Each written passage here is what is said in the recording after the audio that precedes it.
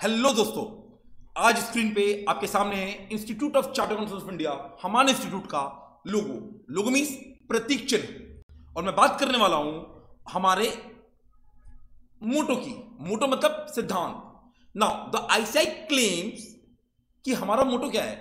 यह ऐश सुप्तेशु जागृति one who is awake among all that who sleep एक ऐसा पर्सन जो जगा हुआ है बाकी लोगों में, जबकि बाकी लोग सो रहे हैं।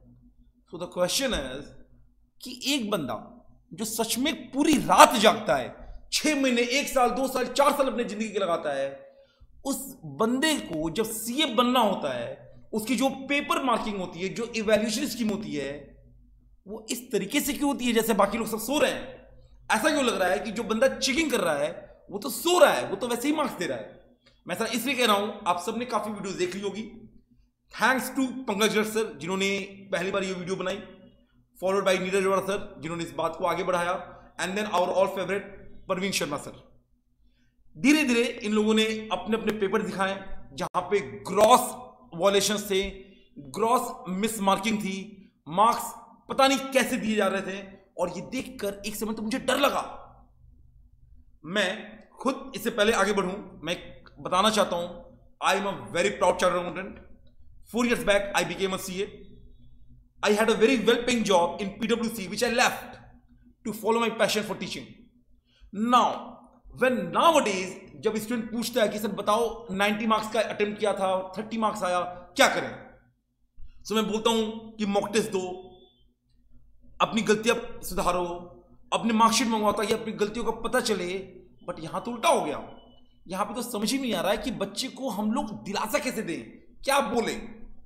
So again I had some discussion with other faculties and then we decided किसी गलती हर पेपर में नहीं है, कुछ में बट इवन दैट गलती should not be there even एक पेपर में, अगर एक हज़ार पेपर में इवन एक पेपर में ऐसी गलती हो रही है दिस इज़ नॉट एक्सेप्टेबल एक बंदा ने अपनी पूरी ज़िंदगी की मेहनत की है, एक एग्ज़ाम देने के लिए, आप उसके साथ ऐसा नहीं कर सकते हो।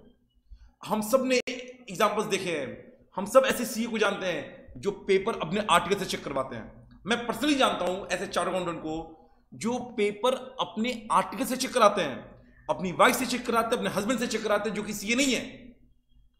अभी अभी एक वीडियो डाली गई है, जिसमें बताया गया कि यूनिवर्सिटी प्रोफेसर भी चेक करते हैं paper now I think this is not justified institute charges sufficient amount as exam fee और अब बढ़ा दो ना। अगर एग्ज़ाम फ़ी कम पड़ रहा है अब पचास रुपए बढ़ा दो बट बच्चों के साथ ये मत करो this is definitely not done this is definitely not acceptable but the issue at hand is what to do now. So, agreed. Everybody saw the video. All the faculties have come together. This is the first time कि एक matter पे सारे faculties इकट्ठे हैं। वो शायद आशीष काला sir हो हमारे प्रवीण शर्मा सर हो, नीरज सर हो, सारे सर इकट्ठे हो रहे हैं। मैं भी उनमें से एक पार्ट हूँ। बट द थिंग इज़ कि अगर आपका अटेम्प्ट नवंबर 2018 में है, आपको क्या करना चाहिए? So it's a very humble request from a friend kindly leave this video please go switch off the net switch off the wifi go and study study. That is the only way forward. See, there are two things.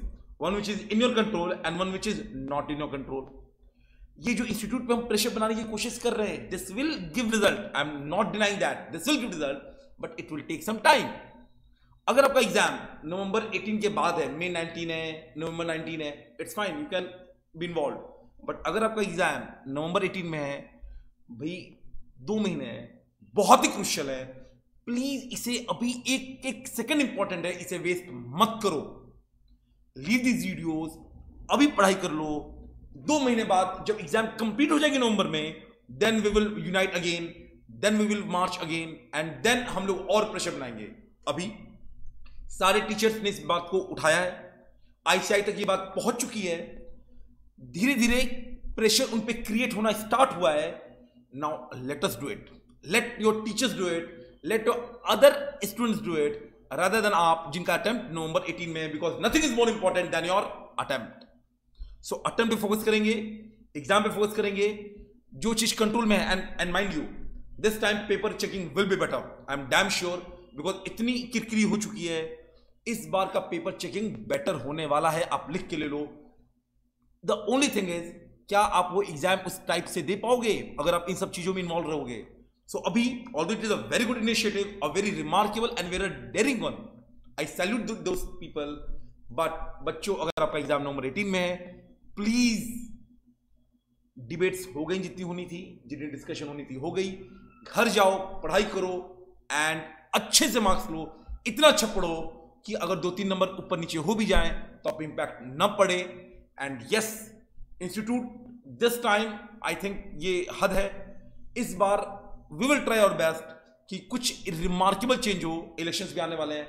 So I think they will be some positive change let us do it you guys go study and all the best let me know if you need any help any counseling but please study do all you can give your mock tests give everything you have in this attempt मैं ये भी बोलना चाहूँगा कई बच्चे festival के दौरान इस बार घर नहीं जा पाओगे क्योंकि दिवाली है और एग्ज़ाम भी है और जब भी दिवाली और एग्ज़ाम के बीच में लड़ाई होती है जीतता हमेशा एग्ज़ाम है make it a resolve that this will be the last Diwali that you will be staying away from home.